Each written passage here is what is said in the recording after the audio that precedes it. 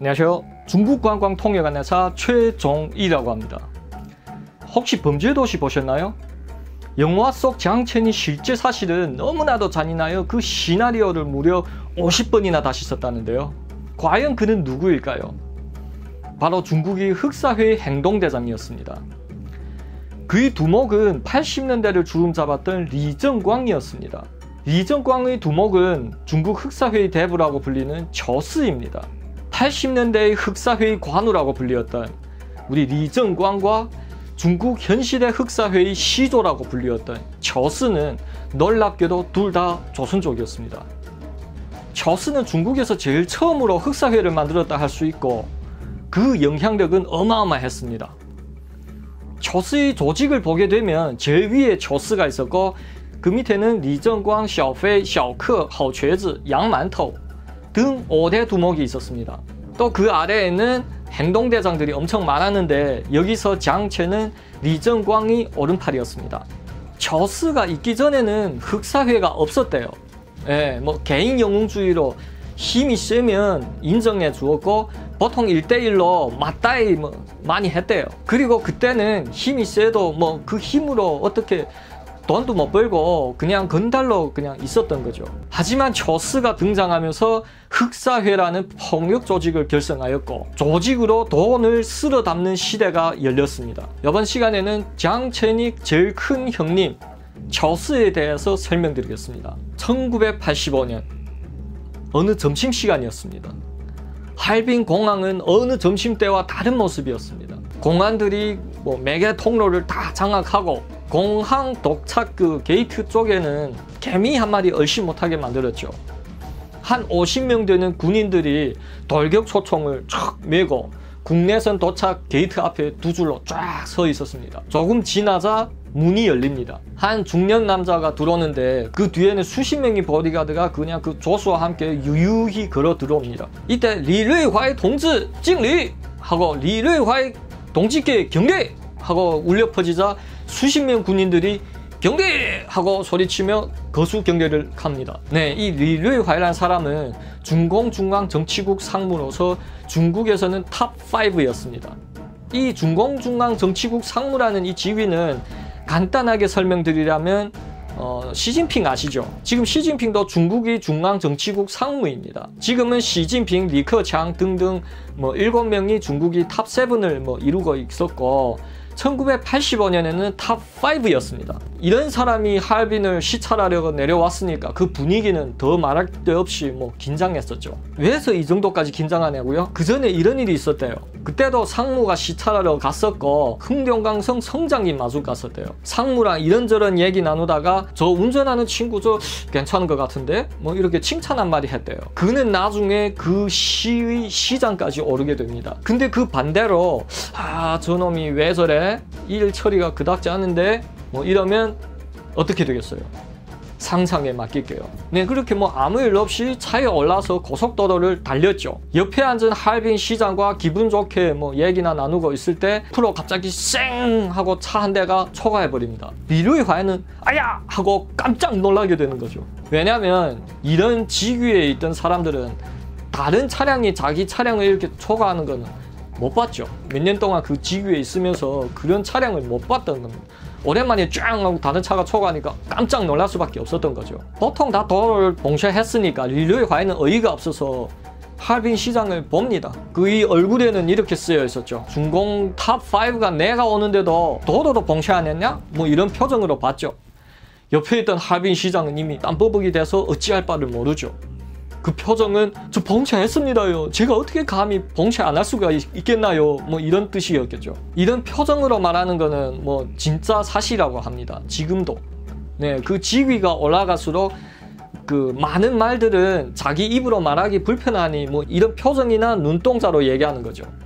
이런 걸 뭐 알아 쳐 먹으면 잘리는 거고 네, 리루의 화에는 이렇게 물어보게 됩니다. 아까 그 흑 A8888888 그 차량 누구 거냐? 할빈 시장은 너무 긴장했던 탓에 아, 그 차는 저스예의 차량이라고 대답합니다. 네? 저스예? 이를 들은 위로의 화해는 완전 빡쳐서 시장 얼굴을 그냥 쫙 하고 귀샤렉을 날려버립니다. 왜냐하면 저스는 그의 흑사회의 호칭이고 얘는 할아버지란 뜻인데 이 인구 천만 되는 도시 시장이란 작자가 할아버지라고 그 저스라는 사람을 높게 칭하니 완전 열받은 거죠. 중국에서는 할아버지라고 높게 불러주면 좋아해요. 이건 한국이랑 또 틀리죠. 네, 그럼 이렇게 국가령도 차량을 초과한 저스에는 어떻게 됐을까요? 저스의 세력은 동북 삼성은 물론이고 지금 내몽골까지 쳐들어갔다고 합니다. 한때는 동북이 황제라고 불리웠죠. 먼저 오늘 얘기 시작하기 전에 당시 1980년대 할빈 시는 어떤 도시였는지 대해 알아보도록 하겠습니다. 왜냐면 지금 우리가 살고 있는 이 사회랑 너무나 많이 틀리기 때문이죠. 첫째로는 몸싸움은 불법이 아니었습니다. 우리 한국 분들은 이해가 안 되시겠지만 그때는 그랬답니다. 몸싸움은 무술 연습으로 간주했고 싸움 나서 때리면 치료비를 물어주면 끝! 대신 때려 죽이면 사형이고 심지어 사람 팔다리 자르는 것도 불법이 아닌데 말도 안 되는 작은 일이 엄청 중하게 다뤄지는 경우도 있습니다. 바로 나중에 저스가 공안에 잡혔는데 증거가 없는 겁니다. 얘는 제일 위에 버스니까 신변을 완전 깨끗하게 뭐 정리하고 증거를 남기지 않는 겁니다. 근데 위쪽에서는 자꾸 죽여, 죽여라, 뭐 이렇게 압력을 가하니까 그래서 죄명을 씌운 게 류망죄였습니다. 류망이라는 건 여러 여자랑 관계를 맺으면 류망이라고 하는데 뭐 한국에서는 카사노바라고 하나요? 저스는 그 시절 대낮에 뭐 할빈 시내를 싸돌아 다니다가 마음에 드는 여자를 보게 되면 뭐 부하를 시킨답니다. 차에서 부하가 내려서 그 여자한테 찾아가서 협상했대요. 만 위엔 주겠으니까 저스랑 하룻밤 어떠냐? 이거는 1980년대 할빈 시입니다. 그때 보통 직장인 월급은 180엔 좌우였고 만 원이면 보통 집 한 채를 구입할 수 있는 엄청난 돈이었죠. 돈이 많고 적거를 떠나 거절하면 어떤 끔찍한 일을 당할지 모르니까 그냥 보통 다들 다 그냥 오케이 하는 거죠. 그때 전해지는 말은 저스예 예예 조 신랑 저스는 밤마다 새 신랑을 한다 뭐 이런 뜻입니다. 이 정도면 뭐 뉴망이 아니라 황제 아닙니까? 그때 법으로는 이 뉴망죄도 엄중하면 사형을 당했다고 합니다. 지금 시대는 상상도 할 수 없는 일이죠. 결국 저스는 여러 여자랑 관계를 맺은 죄로 사형을 맞게 됩니다. 둘째, 이 시대에는 칼총포 집단이 많았습니다. 말 그대로 칼총은 여러분도 잘 아실 텐데 여기서 포는 뭐냐? 포는 이런 총입니다. 소총인데 길이를 그 좀 줄여서 사용했대요. 작업할 때 이런 포를 뭐옷 안에다가 뭐 감추든가 아니면 전문 포자루를 만들어서 뒤에 이렇게 걸고 다니면서 작업했대요. 이런 폭군들 많았습니다. 그 당시 할빈 제일 폭군은 바로 장첸이 두목인 리정광이었습니다. 지금도 할빈에는 흑사회 사람들을 폭군이라고 부른다고 합니다. 아직도 이 포를 쓰고 저수는 1948년생입니다. 그의 집은 할빈이 한 시골이었어요. 17살에 소년원에 들어갔고 나와서도 도적질로 생활을 유지했습니다. 도적질하다가 또 감옥에 들어가서 뭐 3년을 있었고 1970년에 나와서 1973년에 뭐 또 도박 요 마장하다가 또 들어갔대요. 그러다 1975년에 나와서는 결혼을 하게 되는데 저수는 맨날 저녁 술 처마이고 부인을 때렸고 그 부인은 참다 참다 못해 농약을 마시고 자살했대요. 근데 저수는 아무렇지 않습니다. 뭐 구속도 안 됐대요. 그 시대의 법은 참 어이가 없네. 그 저스의 부친이 죽었대요. 형제 몇 명이 그 재산 분배에서 서로 차지하려고 싸웠답니다. 저스는 주방에 들어가서 그 식칼을 갖고 나와서 자기 왼손 식지를 잘랐대요. 나 이런 또라이인데 어떻게 뭐 한번 해볼 테냐 뭐 이런 뜻이었겠죠. 여기서 육형제는 겁을 다 먹고 포기했죠. 넷째인 저스가 뭐 독차지하게 되었는데 그 액수가 얼마인지는 몰라요. 그런데 유산을 차지하고도 정도적으로 살았으니까 그 액수가 크지는 않았던 거겠죠. 그러다 1980년에 같은 점도적인 신고로 공안이 들이닥치게 됩니다. 공안이 수갑을 척 채우자 저스는 무릎을 꿇게 됩니다. 그때 그는 진짜 다시 감옥에 가기 싫었던 거죠. 그리고 뭐 눈물에 콧물 막 흘리면서 한 번만 봐달라고 부탁하는데 이는 저스의 인생에서 가장 쪽팔린 경력이었대요. 그래도 공안이 안 된다고 하자 저스는 주방에 들어가서 식칼을 갖고 나옵니다. 그래서 공안이 어 이 자식 봐라 하고 총을 빼는 찰나에 그는 공안이 앞에서 자기 오른손 식지를 잘랐답니다. 그리고 공안한테 나 이제 두 식지도 없으니 이제 도둑질을 못한다. 한 번만 봐달라고 애절하게 부탁합니다. 그걸 본 공안은 살짝 쫄았는지 어쨌는지 한번 빠졌다고 합니다. 그 뒤 처수는 진짜로 다시 도적질을 안 했다네요. 맨날 백수 생활을 하던 어느 날 그의 집 부근에서 건축을 한창 진행했는데 그 건축 재료를 자꾸 또 좀도적들이 자꾸 도적질해 갔대요. 그 건축 책임자는 할 수 없이 저수를 찾아오게 됩니다. 악명도 좀 높고 점도적도 많이 해봤기에 뭐 점도적 잡으려면 점도적을 찾아라 뭐 이런 거겠죠. 이렇게 저스는 건축업에 발을 들여놓게 되었는데 시간이 조금 흐르자 그는 한 가지 발견하게 됩니다. 이때까지만 해도 건축하는 건 있었지만 전문 철거하는 사람은 없었죠. 뭐 한국 그 깡패 영화에서도 많이 나오는 뭐 그런 거죠. 이때 저스가 나섭니다. 나는 할 수 있다. 나 원래 뭐 양아치니 저런 사람들 쫓아내는 데는 자신 있다. 라고 말합니다. 아마 당시 사회에서는 저스 같은 사람만 할 수 있다고 봐야겠죠. 이어 그는 융화 건축회사의 일원으로 되었으며 예전에 그 사회에서 뭐 친했던 건달들을 모으기 시작합니다. 사람을 합법적으로 팔 수 있고 공무원 대접도 받고 할 일 없던 그 백수 건달들한테는 그냥 꿈이 직업이었죠. 이때 많은 건달들 그를 따랐지만 다 그냥 쪼무레기들이었어요. 또 그 중에 골치 아픈 할머니가 있었대요. 건축회사에서 협상하러 가면 그 할머니랑 그 할아버지가 뭐 식칼을 갖고 나와서 난리에 난리를 쳐서 이 한 집 때문에 전체 건축이 미뤄진 거죠. 저스가 안에 있는 사람들 부르자 또 할머니가 막 식칼을 갖고 나와서 고래고래 소리 질렀답니다. 그때 저스는 그 할머니 식칼을 뺏어갖고 그냥 확 그냥 어땠을까요? 네, 바로 자기 왼쪽 가운데 손가락을 잘랐습니다. 그리고 할머니한테 식칼과 그 자기 손가락을 건네주고 이렇게 얘기합니다. 너도 이 손가락을 자르게 되면 이사 안 가도 돼. 그 손가락을 받은 할머니는 기절해서 넘어지더랍니다. 다음 저스는 부하를 보고 집안을 부수라고 명령을 내야 했습니다. 그리고는 또 밤에 가만히 찾아가서 돈을 또 찔러주는 거죠. 이 돈 받고 나가라. 아니면 다음에 보면 진짜 죽인다. 근데 이 돈 받은 건 비밀로 해라. 어디 가서 발설하게 되면 진짜 죽인다. 뭐 이런 거죠. 병 주고 약 주고. 제일 다루기 힘든 이 한 집만 해결하게 되면 다른 집들은 그냥 눈치 보다가 그냥 다 빠지는 겁니다. 그런데 이런 보통 사람들도 있고 또 건달 조직도 있었답니다. 안녕하세요. 중국관광통역안에서 최종일입니다. 이런 건달 조직들은 싸움에선 앞뒤를 안 가리고 싸웠대요. 얘네는 보통 자기 고향이 아닌 뭐 다른 도시에 가서 활동하기에 뭐 일을 치게 되면 또 다른 도시로 도망치면 되는 거죠. 중국 땅덩어리가 웬만큼 커야 말이죠. 이럴 때는 건달들 집에 갑자기 들이 닥친대요. 포를 그냥 머리에다 겨누고 먼저 분위기 제압에 들어갑니다. 그리고 다들 나가라죠. 이 동생들 앞에서 체면을 줘야지 이것도 체면을 안 주게 되면 죽기 살기도 달려들 수도 있으니 말이죠. 그렇게 다 나가면 얘기를 합니다. 아우야 나는 너랑 전쟁하러 온 것도 아니고 뭐 목숨 걸어 온 것도 아니다. 만약 네가 이 주민들을 다 철수시키면 너한테 많은 돈을 주겠다. 그리고 뭐 집도 줄 수 있고 너는 너희 이 구역에서 자리세를 받을 수도 있다. 이 구역이 운수업을 독점할 수 있는데 여기서 운수업이란 뭐 택배업이라든가 택시 사업 뭐 이런 거 있었죠. 누가 나한테 시비 걸면 나 찾아와 내가 해결해 줄게 뭐 이런 식이죠. 보통 이렇게 되면 대부분 두목은 다 그냥 오케이 합니다.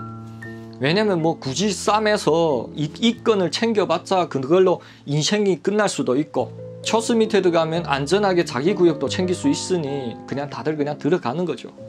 이런 수법으로 초스는 주변의 많은 건다들을 자기 부하로 만들었습니다.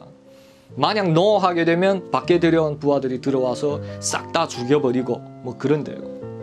이렇게 한두 번 죽여버리면 그 소문은 다 퍼져서 그냥 다들 그냥 저스가 왔다 하면 그냥 다 부하로 들어가는 거죠. 이때 그는 4대 직속 행동대장 중의 하나인 무어레를 갖게 됩니다. 전에 제가 얘기했던 그 다섯 명은 자기 조직을 갖고 있는 두목이고 이 무어레는 저스의 직속 행동대장으로서 뭐 보디가드 역할이죠. 온갖 나쁜 일을 도맡아 하다가 나중에 공안에 잡혀서 50년간 감옥살이를 했답니다. 헐 50년이면 강산이 다섯 번 바뀌었겠네요. 이건 나중에 공안에서 나온 그 할아버지 된 모습인데 노숙자로 생을 마감했대요. 여기 몸통이 청룡이 인상적이죠. 흑사회에서는 이 문신이 신분을 나타낸답니다. 행동대장 정도이면 이 정도 청룡이고 뭐 한계 지역 보스 정도여야 이 령이 목으로 이렇게 점점 올라갈 수 있고 그리고 그 몸통도 점점 더 크게 그릴 수 있다고 합니다. 그 전에도 저스는 악명이 높긴 해도 주위에 뭐 쓸만한 행동대장이 없었습니다. 근데 이때부터 시작했다고 하네요. 나중에 리정광, 샤오페이 이런 엄청 센 두목을 받게 되고 여기서 샤오페이와 리정광은 신분이 좀 독특했습니다. 얘네는 완전히 저스 밑에 직속부하는 아니고 자기들 조직을 갖고 있었답니다. 그들은 청부 살인을 받아서 먹고 사는 그런 그야말로 뭐 킬러 조직들이죠. 저스는 범마다 셔페이랑 이 리정광한테 일을 맡기게 되면 페이를 지불해야 했대요. 여기서 제일 중요한 것은 리정광입니다. 그는 의리도 있었고 싸움에서는 엄청 잔인했대요. 그리고 키는 작았지만 몸은 또 엄청 날렵하고 쵸쓰의 천하는 리정광이 다 만들어줬다. 이렇게 얘기해도 과언이 아닐 정도랍니다. 쵸쓰가 모레이 리정광, 샤오페이 얘네를 접수했다는 소문이 돌게 되자 주위에 있던 그나마 덩치가 큰 조직들도 서로 눈치를 보게 됩니다. 8만 위엔 되는 일거리를 사들여서 18만 위엔에 팔았고 네 그리고 340만 위엔의 일거리를 이 협박하여 400만 위엔을 받아내는 뭐 이런 작은 작업들 이런 돈 안 되는 작업들은 밑에 부하들한테 주고 큰 작업은 자기가 직접 하면서 세력을 키우고 있었어요. 이뿐만 아니라 다른 지역까지 장악하여 그는 25개의 조직을 갖게 됩니다. 이 25개의 조직들은 서로 같은 버스 밑에 있으니 서로 뭐 싸움도 피할 수 있고 뭐 자기 구역에서 자리세 받고 운수업을 독점하고 편하게 지낼 수 있으니 잠시나마 그래도 뭐 조용한 태평 시대를 누릴 수 있었죠. 저스는 이때 이미 룽화 건축회사의 부회장까지 올랐죠. 회장은 공산당에서 파견하고 부회장이 제일 높은 거죠. 이제 뭐 힘이나 정치나 두려울 것 없던 그는 어, 할빈으로부터 우수기업인이라는 호칭을 받게 됩니다. 그 당시는 개혁개방이 금방 시작할 때라서 나라는 이런 우수 기업인들이 많이 필요했고 또 많이 봐주는 이런 정책들이 많았죠. 당연하게 할빈시 그 정부 고층 간부들은 저스랑 만나게 되었고 그는 이 소중한 기회를 더 꽉 잡게 됩니다. 뇌물을 막 퍼주기 시작했고 돈을 아끼지 않았다고 합니다. 이때는 중국이 개혁개방 시기니까 어, 이 위에 있던 이 고위 간부들은 처음으로 뇌물을 받아보게 되었죠. 그리고 그 달달함에 그냥 푹 빠지게 되어서 그냥 뇌물만 주면 해달라고 하는 걸 다 해줍니다. 이미 저스는 이 독고다의 영웅 시대를 그 벗어나서 정치 힘까지 가지고 있는 뭐 진정한 흑사회를 만들고 있었습니다. 이런 흑사회는 현 시대에서 처음으로 만들게 된 거죠. 나중에 밝혀진 바에 의하면 그한테 이 달라붙은 고위 간부들은 97명이나 됐다고 합니다. 그의 영향력은 할빈을 넘어 이 3,800만 인구를 지닌 흥룡강에서는 그 저스라는 이름을 말하면 이 해결되지 않는 일이 없을 정도라고 합니다. 뿐만 아니라 전 동북 삼성 그리고 나아가서 내몽골까지 그 세력을 확장했답니다. 이런 사회 환경이니까 영화에서 뭐 니네 누군지 아니? 이렇게 자기 이름 석자를 매우 중요시한 거죠. 그때 아마 리정광이 어린 팔이었던 장첸도 그 이름을 대게 되면 다들 알아서 벌벌 떨었던 거죠. 그러면 5대 두목에 대해서 간략하게 설명드리겠습니다. 셔크 1987년에 셔커는 감옥에 들어가게 됩니다. 그는 타짜인데 이 도박판에서 돈을 다 잃게 되면 자기 손가락을 걸었대요. 한 개 손가락이 5만 원이고 근데 상대방이 싫다고 하니까 밖에 있는 부하들을 불러서 배를 쑤시게 되었죠. 그리고 공안에 잡히게 되었는데 이 저스는 예전에부터 이 쇼크를 많이 주의해봤죠. 얘는 타짜인데 이 할빈 시내에서 감옥에 무려 8번이나 들어갔대요. 그리고 주위에 그 엄청 큰 행동대장들을 많이 거느리고 있었고 저스는 이 쇼크를 공안국 인맥을 통해서 빼주게 되었고 쇼크는 저스를 따르게 된 거죠. 허죄즈 본명은 허웨이터인데 어릴 때 소아마비에 걸려서 항상 이 지팡이 두 개를 갖고 다녔대요. 어릴 때 또 괴롭힘을 많이 받았는데 한 번은 이 참담 참담 못해 이 지팡이로 상대를 찍어 놓았죠. 근데 그 주위 사람들은 그걸 보고 다 두려운 그 시선으로 이 허죄를 바라보게 되었고 그는 이 시, 선에서 처음으로 희열을 느끼게 되었다고 합니다. 그리고 싸움을 즐기게 되었고 한 번 붙게 되면 그냥 죽기 살기로 싸웠다고 합니다. 뭐 어차피 평생 불구인데 이판사판이겠죠. 그렇게 독하게 싸우니까 이름이 날리게 되었고 그 주변에도 이 건달들이 모이기 시작했답니다. 그는 인도 거우팅이라고 당시 그 할빈에서 제일 큰 나이트를 운영했었죠.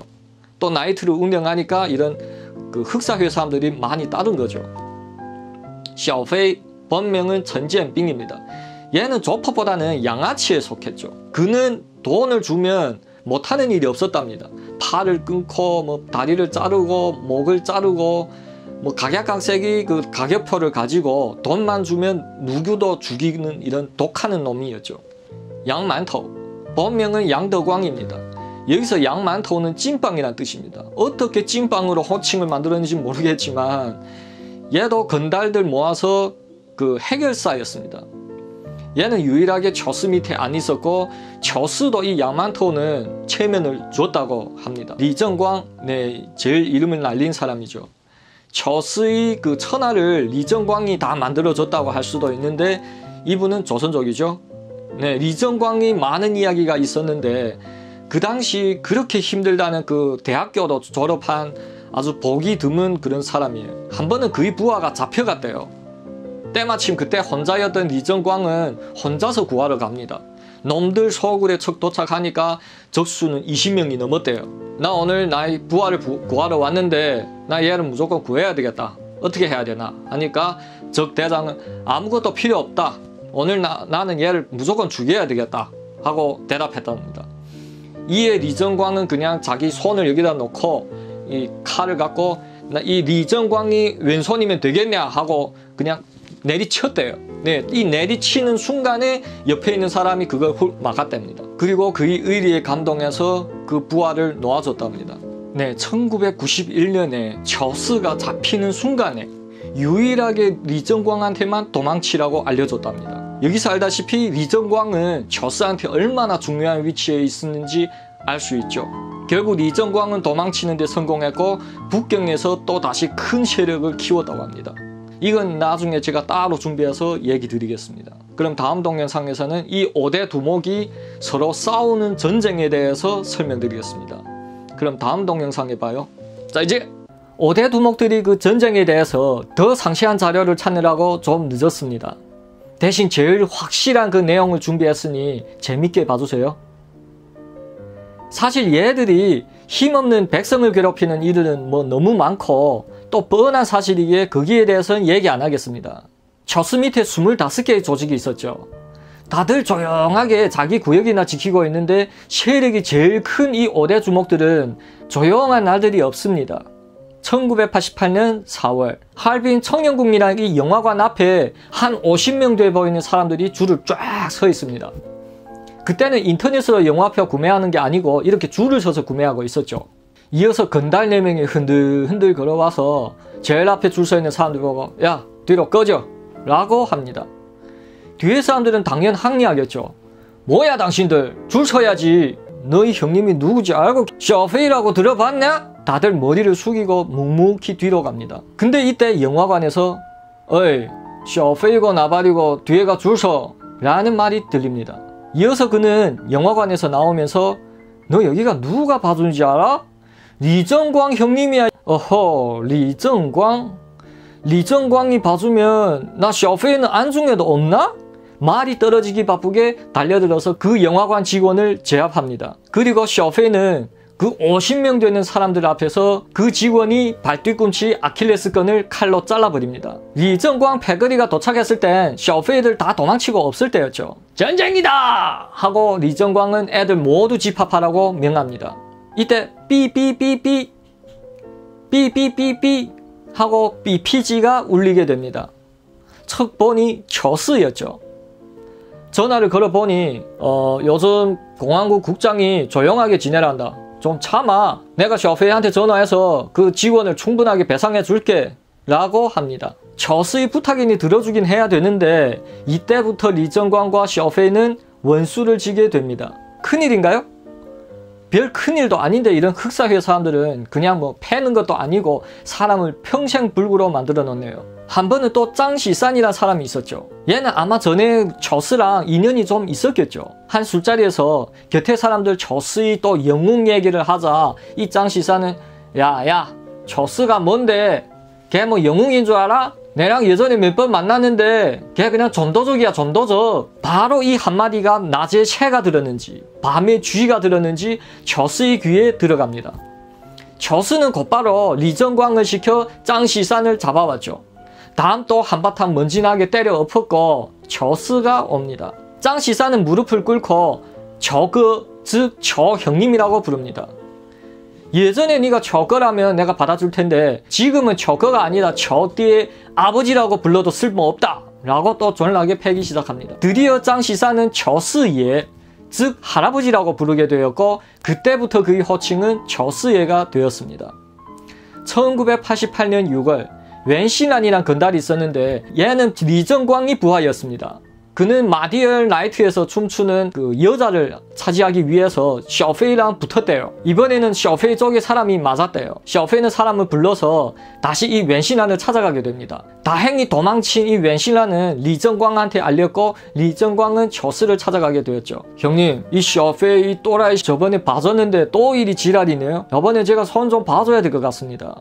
리정광이 이 정도로 말하자 저스는 당연 면목을 봐줘야겠죠. 하지만 셔페이 사이코패스 성질을 잘 알고 있던 저스는 너희 둘 일에 내가 직접 나서긴 난처한테 너한테 돈을 주어서 후원할게. 셔페이는 사이코패스라서 깔끔하게 해결하지 못하면 나중에 오히려 너희가 당할 수 있다. 명심하라. 라고 합니다.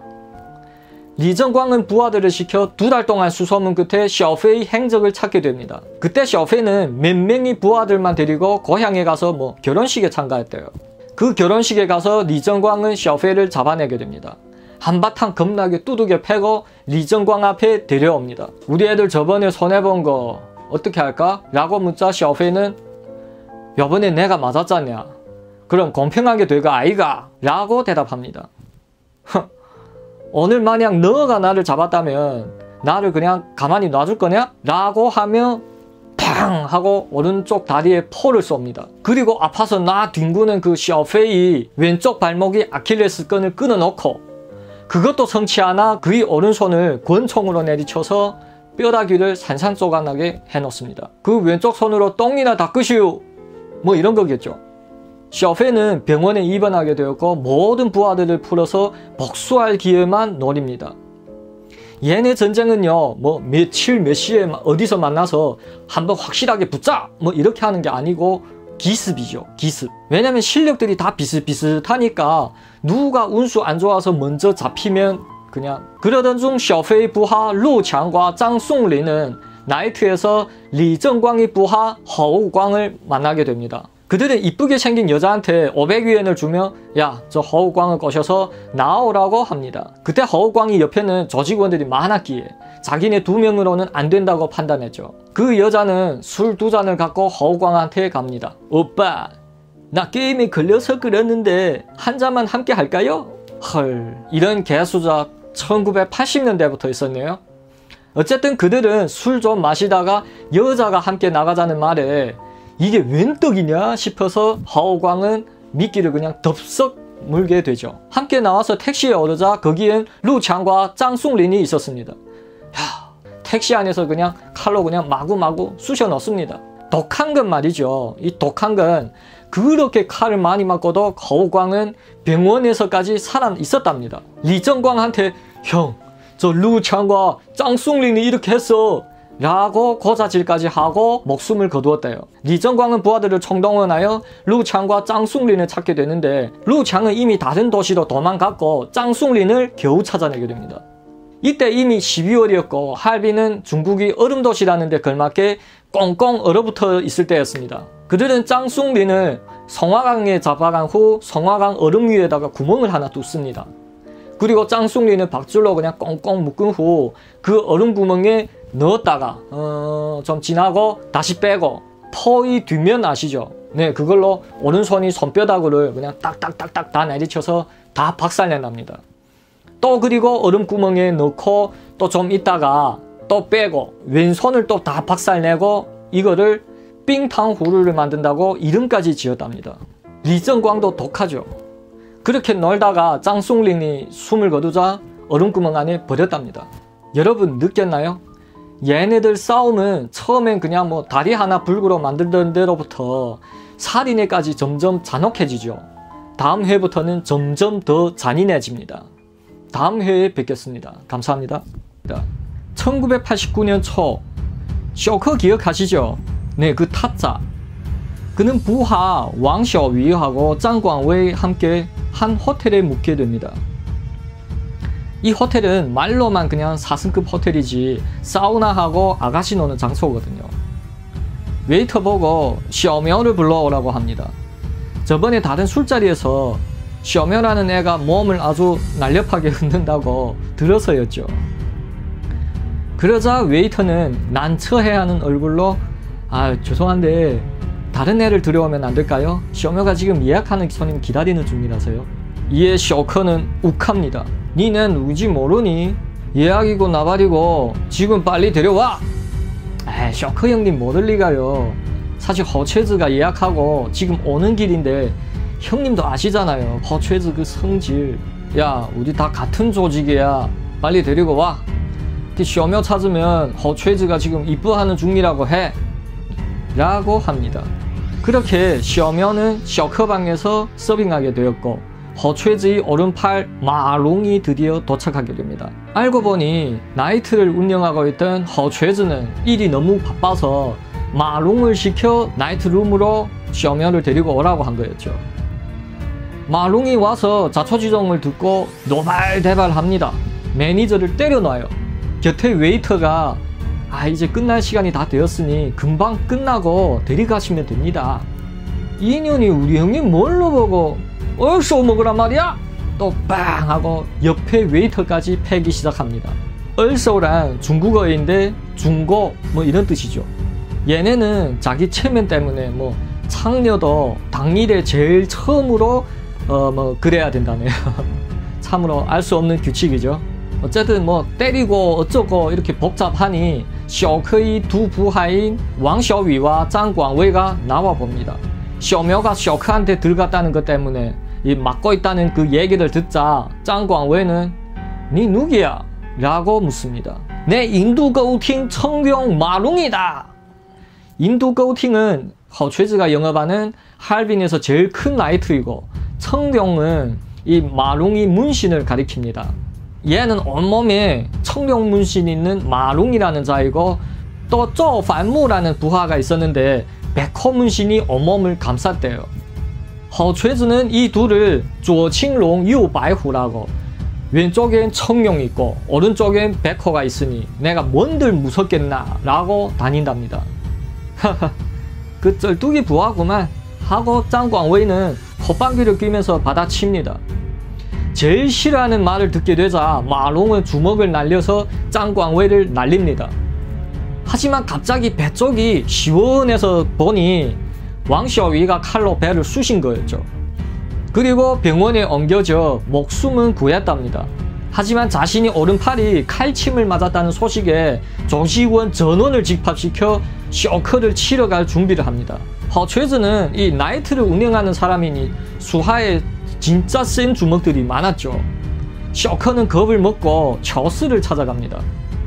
저스에 이건 저희 그 벤츠 차키예요. 이걸 드릴 테니까 어떻게 한 번만 살려줘요. 하고 청을 듭니다. 이 차가 바로 나중에 저스가 그 중앙 영도를 초과한 벤츠입니다. 그 당시 전 할빈에는 벤츠가 딱 두 대였는데 할빈 시장한테 한 대 있고 쇼크한테 한 대 있었는데 지금 저스한테 바쳤죠. 이때 저스는 벤츠를 봐서라도 도와는 줘야겠는데 자기 요 입김으로 해결되지 않을 거라는 생각이 듭니다. 허최즈는 성격이 원래 괴팍하고 자기한테 조금만 손해가 되면 그냥 지팡이로 그냥 냅다 찍고 이 앞뒤를 안 가리는 또라이 중에 생 또라이니까 말이죠. 그때 그는 한 사람을 떠올립니다. 아, 기회가 나서면 해결할 수도 있겠다. 네, 그 사람은 바로 리정광이었습니다. 이 리정광은 의리를 생명같이 지키고 또한 너무도 잔인하여 흑사회 사람들은 리정광이라면 존경하면서도 또 무서워하는 쪽이었죠. 이어 리정광은 조직원 50명을 데리고 인도 歌舞厅으로 갑니다. 그리고 그는 형님 저 리정광이라고 부릅니다. 호췌즈는 천하의 이 리정광이 자기를 형이라고 부르자 삽시에 기분이 좋아집니다. 저 오늘 저스의 부탁으로 오게 되었는데요. 저희 선에서 이 일을 해결해야 되겠어요. 여기 이만 위엔 치료비로 하시고 어떻게 제 체면을 봐서라도 마무리합시다. 이어 허최즈는 음 다른 누가 와도 진짜 저스가 와도 안 먹혔을 거다. 근데 리정광이 와서 얘기하니 체면을 줘야지. 라고 이 일은 끝납니다. 시간이 흘러 샤오페이가 퇴원하게 되었습니다. 이미 두 다리를 못 쓰게 된 샤오페이는 저스를 찾아가게 됩니다. 내 다리가 이렇게 되었는데 어떻게 할까요, 형님? 하고 묻습니다. 네가 이렇게 된 거는 리정광보다 제일 처음 그 나이트에서 너랑 시비 붙은 웬신란 문제니까 그 웬신란을 어떻게 하는 건 나는 반대를 안 하겠다. 그러면서 손바닥을 펴서 셔페이한테 보여줬다고 합니다. 셔페이는 이렇게 하니까 5만원을 주겠다는 줄 알고 5만원어치 총과 사람을 모으게 됩니다. 웬신한 집을 들이치게 되는데 웬신한은 집에 없었고 그의 형수와 가족들이 집에 있었대요. 셔페는 총으로 웬신한 형수와 그 가족을 모조리 쏴서 죽이고 나와서 계속 찾고 있는데 이 소식을 들은 웬신라는 겁을 먹고 네 직접 저스를 찾아가서 도움을 구하려 했답니다. 하지만 저스 집 부근에서 매복해 있던 셔페이한테 잡히게 되었고 총격전도 있었고 뭐 도망도 쳤지만 결국엔 잡혀서 머리에 총 맞게 되었죠. 셔페이는 웬신란을 죽이고 저스를 찾아가서 돈 달라고 합니다. 근데 저스는 돈? 뭔 돈? 내가 언제 너한테 돈 준다고 했어? 형님 저번에 손으로 이렇게 5만원 준다고 했잖아요 에이 동생아 그건 오케이 한 거지. 내가 언제 5만원 준다고 했나? 이게 오케이야. 나 원래 오케이를 이렇게 해 헐 저스가 자신을 갖고 노는 걸 이제야 눈치챈 쇼페는 너무도 열받습니다. 하지만 자기 조직은 이미 리정광한테 공중분해되었고 힘도 없으니 할 수 없이 참게 되었죠. 안녕하세요. 종일TV 최종일입니다. 셔페는 거리 대급업자한테서 5만 위엔을 빌려 킬러랑 총이랑 가득 준비했는데 이제 와서 저스가 나몰라라 하니 어쩔 바를 모릅니다. 숨어서 지내야 했죠. 이 거리 대금업자들도 킬러 조직이고 돈을 못 갚게 되면 자기 뭐 장기를 다 바쳐야 되니 맨날 도망치는 거짓 신세가 되었죠. 할빈에는 제일 큰 규모의 싸움 로마후 다쉐핀이라고 일어납니다. 루마후라는 동네에서 벌어진 제일 큰 싸움 뭐 이런 뜻인데요. 여기는 70만 인구가 살고 있는 개발구였죠. 류산이란 사람이 철거를 맡았는데 그 소식을 듣게 된 저스는 욕심났던 거죠. 이 류산이란 사람은 저스가 무조건 와서 빼앗을 거라고 생각하고 뒤를 봐줄 수 있는 사람을 물색하게 됩니다. 바로 양만토라는 사람입니다. 양찐빵이죠. 근데 얘도 실력이 당시 어마어마했대요. 얘는 밑에 사형을 받은 행동원들만 있었는데 그 당시에 유일하게 저스 밑에 안 있었대요. 싸움은 많이 하였는데 저스랑 상관이 없어서 아직 그 저스랑은 뭐 원한 같은 거는 없을 때죠. 류사는 양만토한테 양만토 씨, 어, 제가 12,000위엔을 죽였으니 가서 저스의 머리를 따오시오 라고 합니다. 양만토는 피시 웃으면서 나 2,000위엔 갖고 저스의 머리를 사려고 장난 지금 나랑 하냐? 네, 죄송합니다. 써봤어요. 그럼 얼마면 되겠어? 내가 저스랑 원한 있는 사람을 모두 모아서 돈은 얼마든지 구해보겠어. 날 100만원 줘서 저스를 죽였다 하자. 어? 그럼 그 뒤에 내가 그 돈을 써볼 목숨은 남아있을까? 어떻게 다른 방법은 없는 겁니까? 저스 곁에 리정광이 있는 이상 희망이 없어. 걔 요즘 셔페를 잡고 조직이 더 커져서 뭐 몇백 명이 된다던데 값을 매길 수 없는 사람들이야. 이어 류사는 그럼 그냥 와서 지켜주면 안 될까요? 이번 철거 일 다 끝나면 10만 원을 더 드릴게요. 이러자 양만토는 흔쾌히 승낙했죠. 저스가 제 아무리 세도 요만한 일로 나랑 뭐 붙자고는 못하겠지 하고 생각합니다. 그러던 어느 날 저스는 리정광과 또 수하의 부하들 데리고 양만토를 찾게 됩니다. 양만토야, 류산이 나한테 얼마나 줬냐? 12,000위엔 받았어 형님. 내가 5만 위엔 주겠으니까 가서 류산이 목을 쳐라. 에이 형님 나한테 의뢰를 준 그 소중한 고객님이 목을 따게 되면 내가 뭐가 돼요? 누가 다시 내한테 일을 주어? 아시면서 왜 이러시나?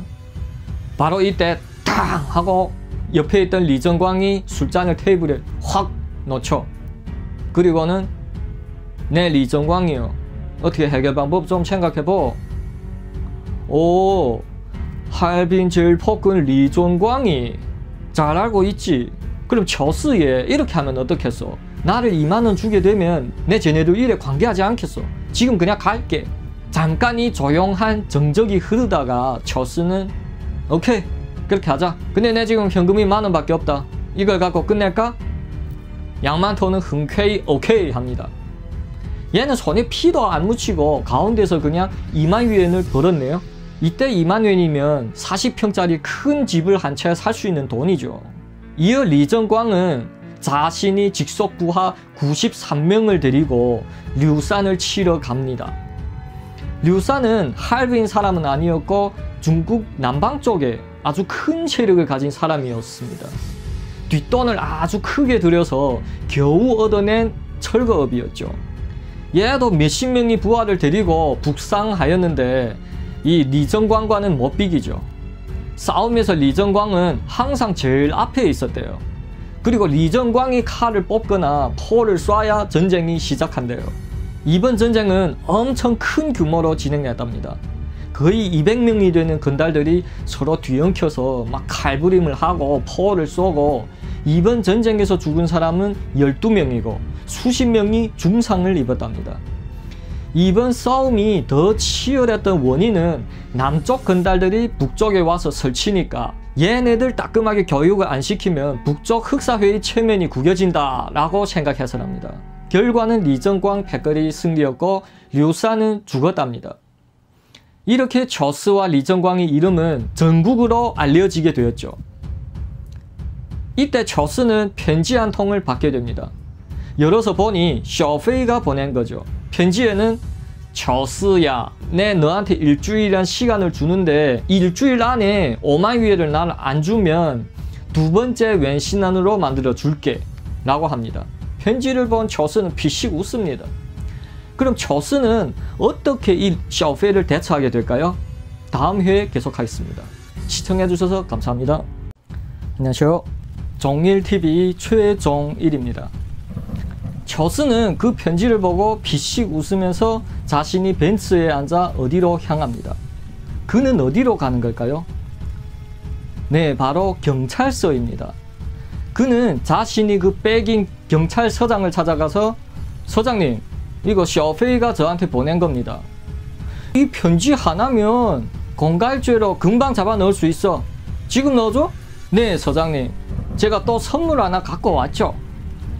저번에 그 웬실란 미제 사건 있죠. 얘가 죽인 겁니다. 증거 자료들도 제가 이제 보내드릴게요. 오호 그래? Thank you. 덕분에 또 한 건 하게 됐네.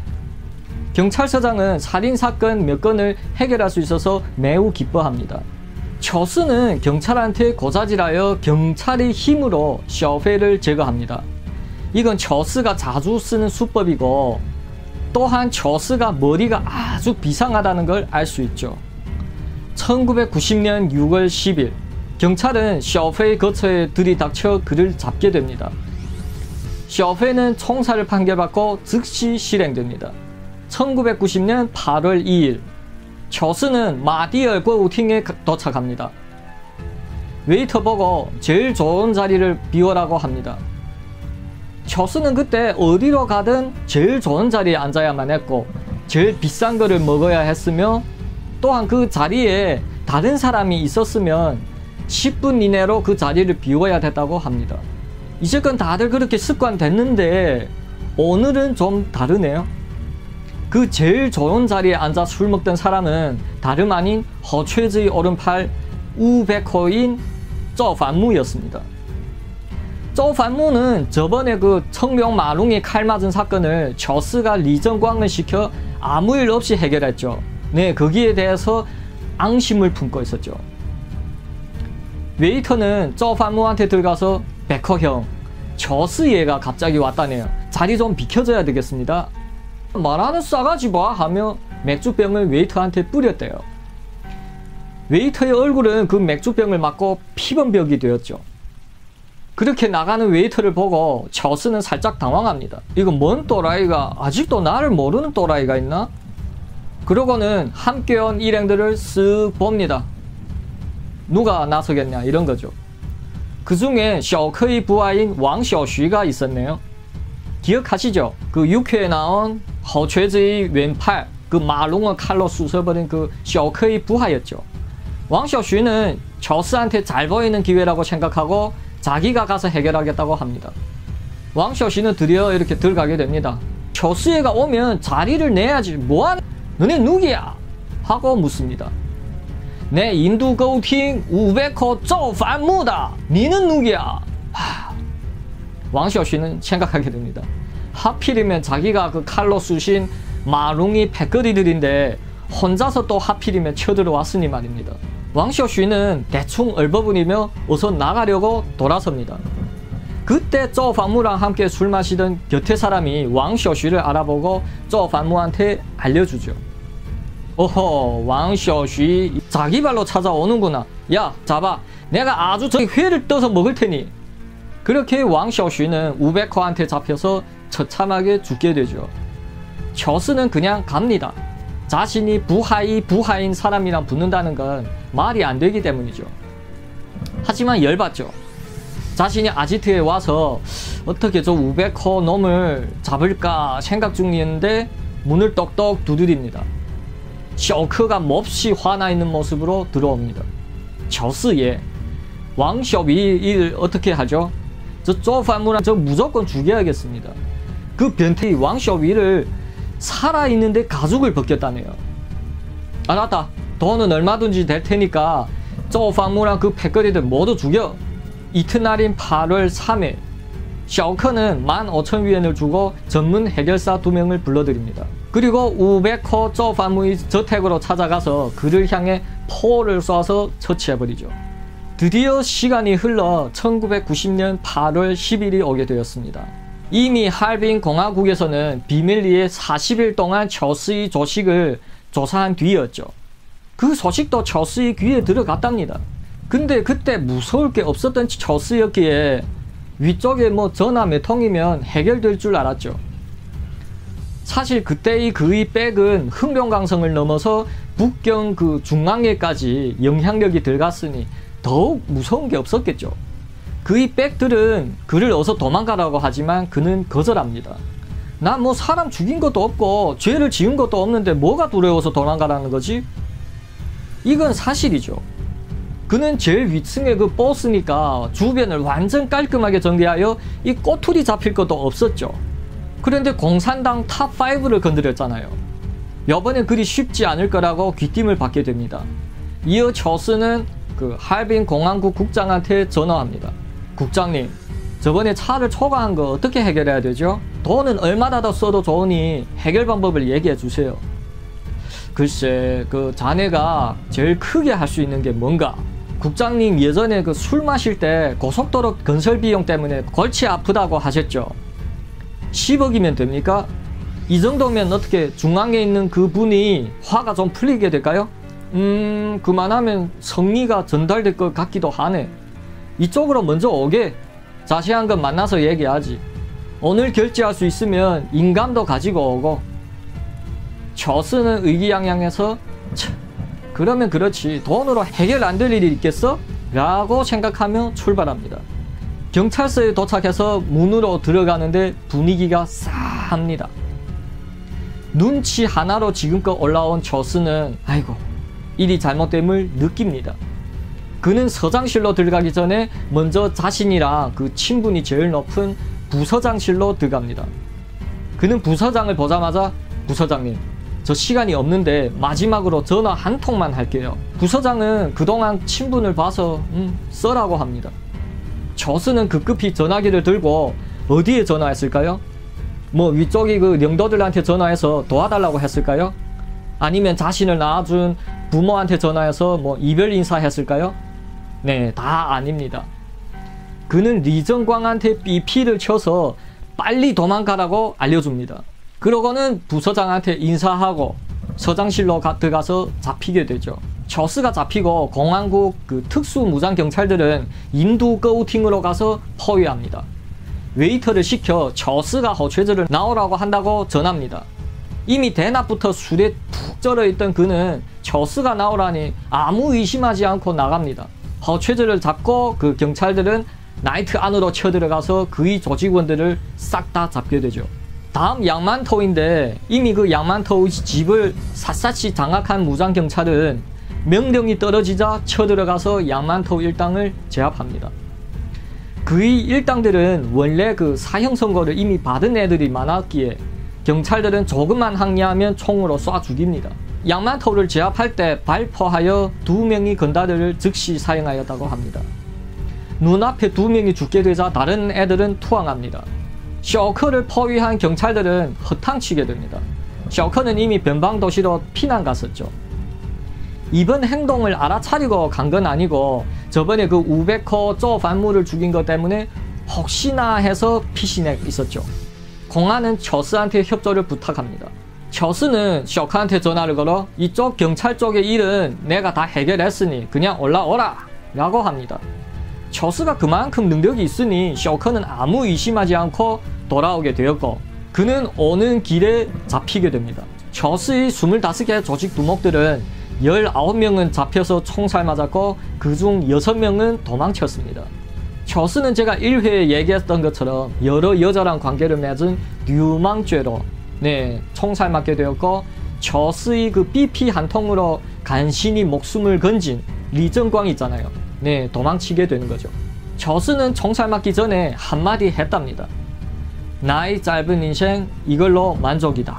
이때 그의 조직들은 뿔뿔이 흩어지게 되었고 리정광은 북경으로 도망치고 그의 수하의 제1행동대장이었던 장첸은 밀수배를 타고 한국으로 도중한 거죠. 장첸이 형님 리정광은 북경에서 또 다시 세력을 키우게 되었으며 중국의 심장인 이 북경의 흑사회를 또 장악하게 됩니다. 리정광이 북경에서의 그 활약은 제가 다음 동영상에 재밌게 또 알려드리겠습니다. 시청해주셔서 감사합니다.